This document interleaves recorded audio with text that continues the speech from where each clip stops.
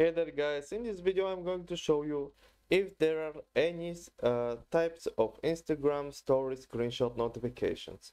And quick answer is no, but if you want proof to this, uh, just simply upload a story to your Instagram. Any old story, doesn't matter what.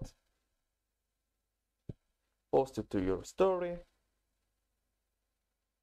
And make your friends screenshot it and see if you get any notifications for that even if you want to make them send you the screenshot so you see that they screenshotted it and you will see that you won't get any notifications.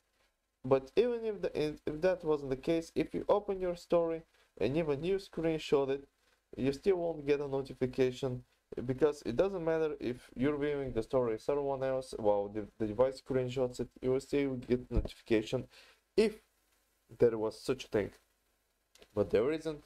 So don't worry about it. Screenshot all the stories that you want, and that's it. Have a good one.